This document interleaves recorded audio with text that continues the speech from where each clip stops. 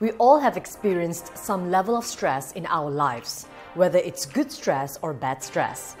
Good stress can help you to meet daily challenges and accomplish tasks more efficiently. What we want to avoid is chronic stress. With our fast paced lives and high demands from our jobs, it is reported that 7 out of 10 adults experience stress daily. Prolonged stress can weaken the immune system and increase blood pressure, fatigue, depression, anxiety, and even heart diseases. It is not possible to avoid stress completely, but we can learn to manage it to live a happier life. Here are some ways I've learned to calm my body and mind. Deep breathing. When you're feeling stressed, the first thing to do is stop everything and do nothing. Just close your eyes and take 10 deep, long breaths. This will only take you a minute or less, and you can do it anywhere at any time. Deep breathing helps to slow down your rhythm as it draws more oxygen into your brain, allowing you to calm down and relax. You will instantly feel better and it gives you mental clarity. Start writing down what you're stressed about.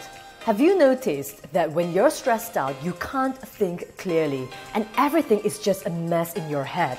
One of the simplest and most effective ways is to write down and make a list. Oftentimes in our heads, it feels like the problems are endless, but when you write them down, you will realize that you can cope with them one at a time. This has helped me to be more effective in my work and actually getting things done, rather than just worrying and doing nothing.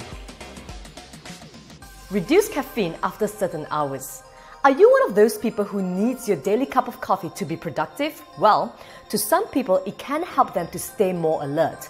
But to others, caffeine is a stimulant that causes our heart rate to increase and causes us to become jittery, which can increase your stress levels. If you're trying to reduce your stress levels, you should avoid consuming caffeine after 2 p.m. This is because caffeine stays in your body for up to 8 hours and might cause you to have trouble falling asleep. Getting sufficient sleep is crucial to lower stress levels. Go for herbal tea instead, which has a soothing and calming effect. Meditation. One of my morning routines which has helped me with my anxiety is to practice 10 minutes of meditation. Everyone can do this, and you don't necessarily need a specific mantra or to attempt to clear your mind. Because just like some of you, the more I try, the more I struggle to quiet my mind. Just be in the moment.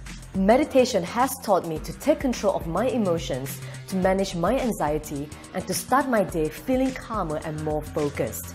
Just 10 minutes every morning has increased my performance, putting me in a better mood and making me much happier. You can even add a short prayer as part of your meditation.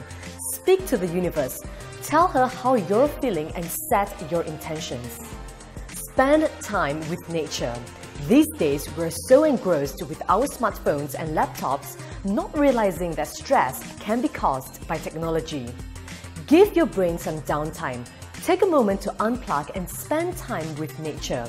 Nature has a healing effect to the body, mind, and soul. Being exposed to sunlight also increases your brain production of serotonin, also known as the happy hormone. Whether it's walking along the beach or in your neighborhood park, just take a long stroll and observe everything around you without judging anything.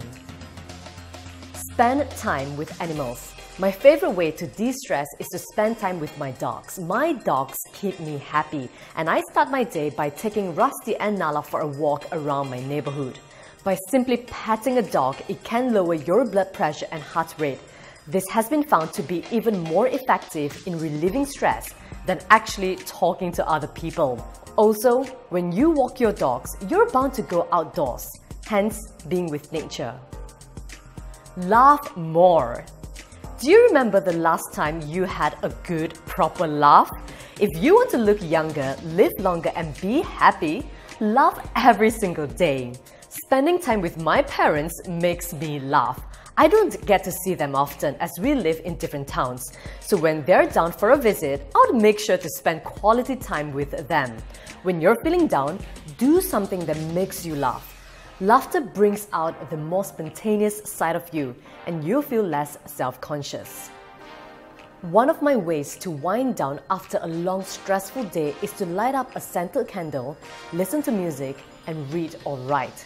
Sweet scents like lavender and slow music will lower your heart rate and blood pressure. This sets you up for better sleep and you'll feel more refreshed in the morning. I will also reflect and write down the highlights of my day. This practice has taught me to look at the positive side and give thanks, no matter how terrible or stressful the day might have been. Get moving. I'm in my happy place when I work out. It's that space where I'm able to put everything aside and just fully focus my attention to my body and muscles. Everybody feels good after a workout session. That's because exercising pumps up your endorphins, the feel good hormone. It doesn't have to be a long, intense workout. Even a short workout will do wonders. The goal is to move because movement in any form can be a stress reliever. The final tip is to watch your diet. We often overlook this because how can stress be directly linked to food? Stress eating on high calorie or sugary foods only trick us into thinking we feel better. In fact, these foods can cause our body to produce even more stress hormones, causing us to want more junk food and be even more stressed out. So check your diet. Eat a well-balanced diet because that will help you to improve your digestive system and lower stress hormones. These are some ways that have helped me to manage my stress and anxiety. What other methods have you practiced? Let me know in the comments below. Remember, most of your stress comes from the way you respond, not the way life is. Adjust your attitude and all the extra stress will slowly disappear and you'll be happier. Don't forget to like this video, share this video on and subscribe to my YouTube channel for a lot more nutritional guides, fitness tips and workout videos. All the best!